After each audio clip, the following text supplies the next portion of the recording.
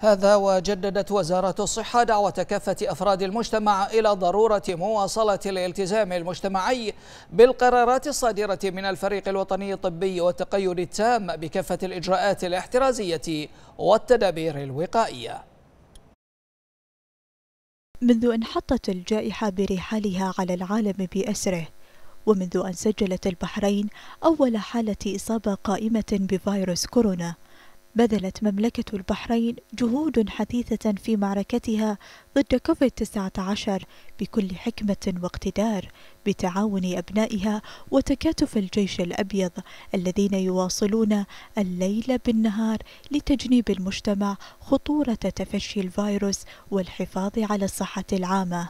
ما جعل البحرين محط أنظار العالم في كيفية التعامل مع هذا الوباء العالمي.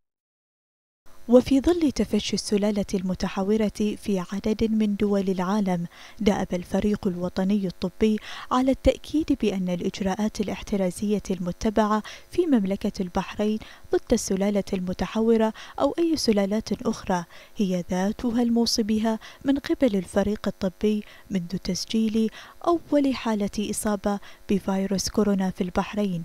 مشددين في الوقت ذاته على أن تلقي اللقاح يشكل حماية للفرد والأسرة والمجتمع.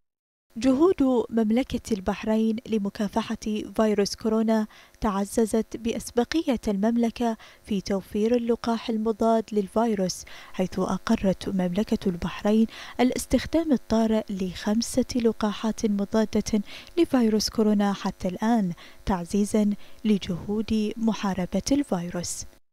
هذا وتشدد الجهات الصحية في مملكة البحرين على ضرورة مواصلة كافة أفراد المجتمع التزامهم بالإجراءات الاحترازية وممارسة الوعي المسؤول في اتباع كافة التدابير الوقائية التي أعلن عنها الفريق الوطني الطبي.